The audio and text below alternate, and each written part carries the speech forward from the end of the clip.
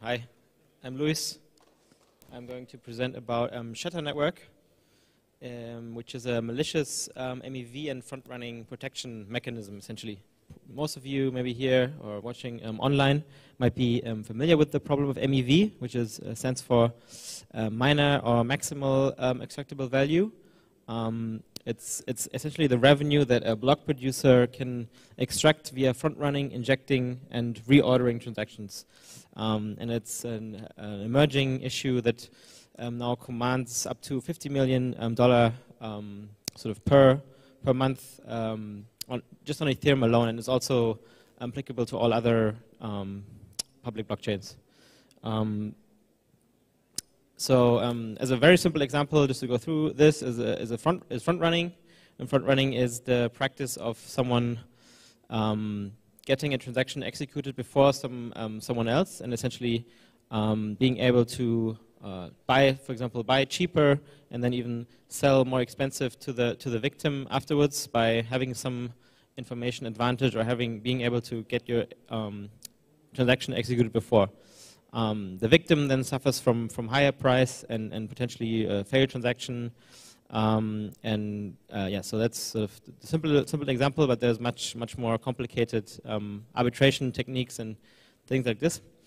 Um, why, why should we care about this? So um, generally speaking, um, the, the problem isn't really arbitrage. That, that's, a, that's generally considered a good thing. You want to uh, equalize prices on on dexes and everything. Um, and so there's a large portion of MEV that we, we considered um, non-malicious. Um, but what we can probably agree on, generally speaking, is that front running is, is malicious. And then um, just generally speaking, the way how MEV is extracted um, and, and potential uh, monopolies forming around um, the extraction of MEV, that's, that's would be considered malicious. and, and that's the focus that's our problem that we're focusing on. That, that's what we want to um, solve. Um, so yeah, this, this more concretely, worse prices, fair transactions. Yeah. And then um, one, one uh, more specific case is, is layer 2 MEV. So generally speaking, people don't think about layer 2 MEV um, yet so much because um, it's not uh, apparent because generally we're trusting the, the roll-up sequencers to not, not to extract MEV because yeah, they're big teams and they, they have something to lose if they would uh, so front run their own um, users. Um, but that's not an optimal case. You don't want to trust your operator. That's not, not, a, not how we do it in blockchain, essentially. So, so MEV does also exist in, in rollups and, and is, is, might even become an even larger issue um, than, um, than on L1 because the rollup sequencers are more sophisticated um, and, and more centralized. And these are just some, some, some pictures. Probably you guys have seen um, some of these on, on Twitter and others. Uh, very sophisticated arbitrage, um, or, or, very um, people making two million dollars uh, per per arbitrage. Yeah, just to yeah. So that, that was just sort of explaining the, the problem of, of MEV and, and maybe also in uh, uh, layer two, and um, and now we come to what we are building our solution, which is generally speaking is we're using threshold encryption and a DKG distributed key generation to um, combat front running. Um, on a very high level, it uh, works uh, in a way that transactions are encrypted um, and signed by the block producer while they're still encrypted. Um, so that the, the block neither the block producer nor anyone else can, can see what's in the transaction, so they can also not front run or censor. Um, and then and then the, the issue with this, or if you were to um, trivially do this with your own private key, encrypt your transaction with your own private key, um, that would lead to uh, a free option for the users not to decrypt um, afterwards, um, which we want to prevent. So the whole system is a little more uh, complicated. Um, that's why we use threshold encryption and we use these keeper systems. So think about sort of a keeper um, uh, 50 to 200 um, crypto node providers that collaborate and run these the threshold encryption mechanism DKG collaborate to generate the the uh, encryption key, which the users are using to encrypt, and then the block producer um, or collator, we call him, um, uh, signs um, the, the block, finalizes the order of transactions basically, and then afterwards the keepers collaborate again to release the decryption key. Um, and that's way the we ensure that the transaction is actually ex executed. Um, so we we solve this free option via um, threshold encryption. And here's another sort of look at this. Um, very simply speaking, is the, these keepers on the left, our lower left side, they collaborate, and then the on the top, uh, the the transaction can pass through this metaphorical um, dark forest. Um, and then we are implementing Shutter. So um, there's sort of the first iteration we finished um, mid of last year. We um, built it as a smart contract uh, system, which we call on-chain Shutter. Um, it, can protect any any one or multiple smart contracts from front running, but it has some sort of uh, downsides that I don't want to go into, but essentially, which we which is why we've uh, um, switched our focus to something called rolling shutter, which is the same mechanism explain, uh, explained before, but implemented at the rollup level, at the sequencer level, um, so that the shutter is integrated into the rollup, making the entire um, rollup um, MEV or malicious MEV protected and censorship resistant. Um, and I will go uh, into more detail on this.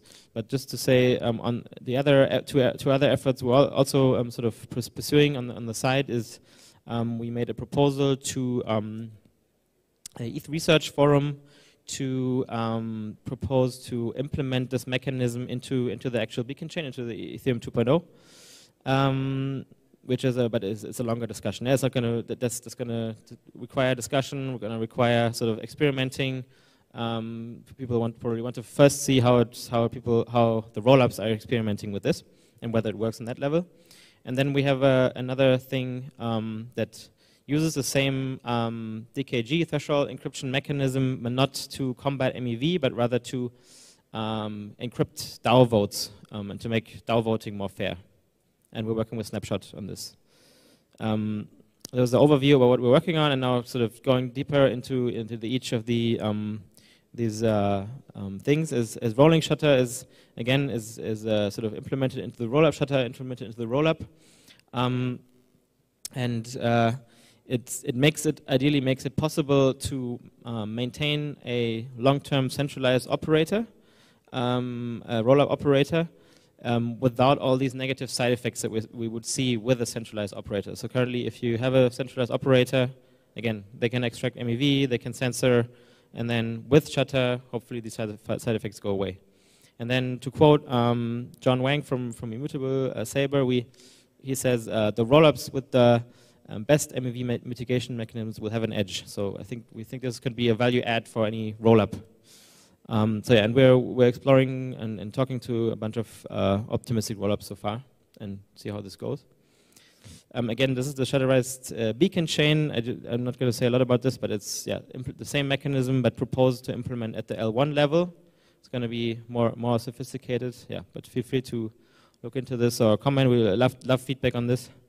Um, yes, and then shutter governance is is uh, what I talked about. Is this encrypting um, DAO votes? Um, so essentially, the, the the there might be some um, misbehaviors that that um, people in DAO votes uh, in DAO voting are experiencing. So one one simple example would be if a large whale can um, sway the, the the vote last minute um, because they'll see how many votes they need to uh, sort of uh, um, buy or, or, borrow to to they, they, they, know exactly how many votes they can they need to to sway the vote last minute something we see, see quite a lot. And then, so the idea would be if we were to shield the voting, if we had encrypted votes, um, that would uh, prevent them, deter them from even trying, trying to do so. And, some, and there's some other um, sort of game theoretical behaviors that, that we will ho hopefully um, improve with this encrypted um, voting. And yeah, so it's a commit reveal scheme. Um, and we're working um, mostly with Snapshot to, to integrate it directly into Snapshot. So any, any DAO can then uh, any, any snapshot uh, DAO can then, can then access it um, quite soon. And then also Kleros. Kleros is a, you guys should be familiar with this, it's a, it's a court system, arbitrage system, and they sort of, their game theory benefits from um, having the, again, having the votes be shielded. Um, so they could also benefit from this in, in some early talks with them. Um, this is just a small thing. My colleague uh, Yannick built this. It's a, uh, it's a game, as a DAO to DAO game based on um, based on Shutter. So it's a diplomacy um, implementation, but uh, DAOs are collaborating and DAOs are collaborating with the other to fight other DAOs. But it uses Shutter to um, encrypt game moves so, so, that the, the game moves aren't um, uh, observable by the other DAOs before they even execute it. And then this is just a, uh, just a small um, announcement, or not announcement, but just want to do some advertisement for this um, larger event um, at, um, at, in the context of DevConnect uh, in, in three weeks, I think, is this um, MEV day, which is a full day of exploring all kinds of um, MEV-related topics, um, and we co-organize with Flashbots and um, CowSwap on this. So, if you guys want to attend there, would encourage to apply. So, yes, you have to apply to it essentially. Yeah. So yeah, again, um, we our goal overall is to partner with um, especially those who need uh, anti-MEV solutions or anti-front running solutions, um, or if we're talking about the Shutter government and other things like this, um, UX-friendly commit and reveal schemes. So yeah, love if you um, like follow us on Twitter or contact me afterwards. Yep. Thank you. Is it? Uh, yeah, yeah. So, so we uh, we are ready to take questions from the audience. So, if anyone has anything to ask, we can give you the mic. Any questions so far? Well, uh, probably I've got the question. Like, uh, where exactly I work in? Like, like I working in prod already, and with which chains is possible to in like see your benefits? So the, this first effort, um, what I call on-chain shutter, so the smart contract system that you can um, deploy to protect any any smart contract that's um, working, and it's uh, in fact deployed in the context of this game um, on Gnosis chain. Um, but the, our main focus is um, what we call, what I uh, rolling shutter. so the rollup implementation isn't isn't live yet, but should be coming out very soon. So we actually haven't announced it yet, so this is a sneak peek here. So we'll announce it maybe today or uh, coming days. So yeah, but it's also quite far in the development, so it's also going to be released uh, quite soon. Yeah.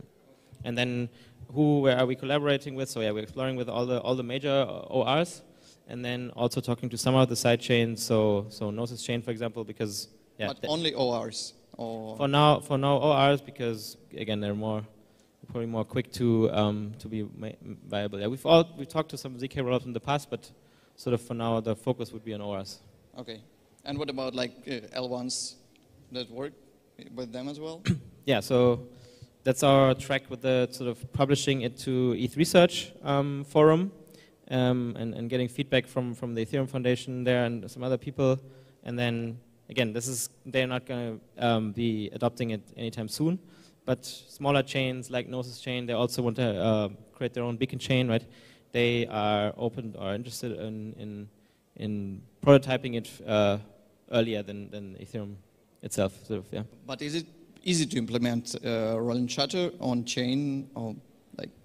No, the the rolling shutter is easy on the on the for the rollups, and then implementing it into the L1 is a much it's a more involved um, process and going to take longer. Okay, okay. It's interesting because we are all here, so working on like uh, launching our own chain. So maybe we can try to integrate with you somehow. Awesome, yeah. And one one other path to this would be to, if it's an EVM compatible chain, is to is to have a have a rolling shutter, so have a, have a shutter MEV protected roll up on that chain as to first. So just try it out, yeah. and then yeah. So uh, on Gnosis, there's already is uh, Optimism and Arbitrum running on those as well. So, so that's also another sort of maybe smaller step you, other chains can take to, to prototype this. Okay, great. Thank you very much. Thank you. So, no more questions? Okay, thank you. Oh, yeah, there is one question.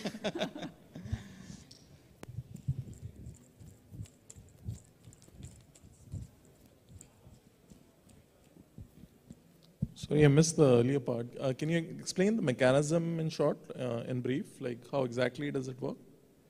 Yeah, so I'm, I'm not going to, none of this is like too detailed, but you can read um, on, um, on our blog posts. Um, but So yeah, very briefly, again, transactions are encrypted um, and then batched and signed while they're still encrypted, uh, and signed by the collator or validator or rollup validator while they're still encrypted, and then afterwards um, get decrypted.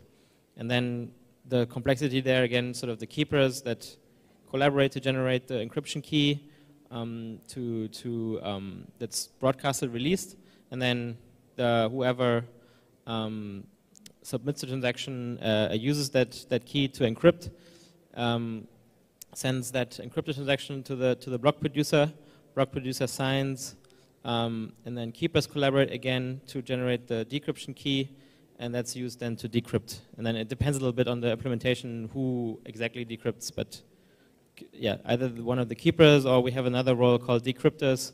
Depends on which level we, in, we integrate it. Does that help the question? Yeah.